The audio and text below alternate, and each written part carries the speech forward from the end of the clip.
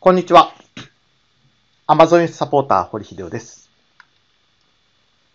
人口減少で日本で稼ぐのは年々難しくなってきています。日本の総人口1億2622万人、86万人減、世界11位に後退しました。日本、どんどん人口減っています。元からこれほど人口がね、えー減る前から、まあ、10年続く企業は半数というふうに言われてたんですけど、まあ、何しろ、まあ、社畜として頑張っても、10年後には50%の確率であなたの会社はなくなります。頑張って奴隷として働いて、最後は主である会社がなくなるわけです。社畜に明日はありません。そんな中で、稼いでる人の共通点。日本で稼いでるのは輸出型企業です。一風堂は海外転換で儲けています。一風堂は海外転換に軸足を入れている。海外店舗だと客単価4000超えは普通。まあだから株式上場できたわけですね。ドンキホーテもインバウンド狙いと海外進出で儲けている。ドンキ店内は圧倒的に海外旅行者が多いと。日本の店舗で。えーで、海外にもドンキホーテどんどんできています。日本を代表する企業、トヨタ自動車。トヨタも海外販売で儲けている。ねえ日本の比率というのは実は4分の1以下であると。そしてソフトバンク。ソフトバンクは中国企業への投資で日本企業最高益を達成した。日本国内だけで稼ぐのは無理ゲーであると。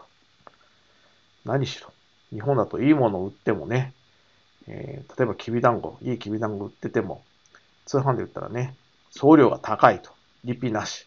商品は素晴らしいのに残念ですと。まあ、何でも安くないと日本は許してくれません。きびだんごも鬼にはかなわないと。そんな中、私は Amazon に出会えて感謝。インバウンド狙い、海外進出が稼ぎやすいのは分かった。でもどうする？インバウンド狙いのお店なんてないし、海外進出なんて夢物語。輸出ビジネスという手があります。Amazon を使えば、わずかな費用とわずかな時間で輸出ビジネスが始められます。Amazon を使ってやることはシンプル。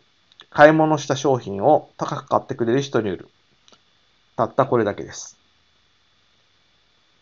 自力で稼ぐ方法を身につける。Amazon。こんな素晴らしい仕組みは他にないなと感謝の日々です。そんな Amazon を使って、あなたも輸出で稼いで安心して長生きしてほしい。そんな思いで輸出サポートを提供しています。私は初心者でも稼げるようにサポートしてきたから10年間物販サポートを続けることができています。日本に住んでいるなら Amazon 輸出をやるとお得です。わずかな投資で一生稼げるスキルを身につけるチャンスです。数年前に始めた先輩方は自力で稼ぐ力を身につけて悠々自適に暮らしています。ここをクリックしてオーストラリア Amazon サポート申し込みページを見てください。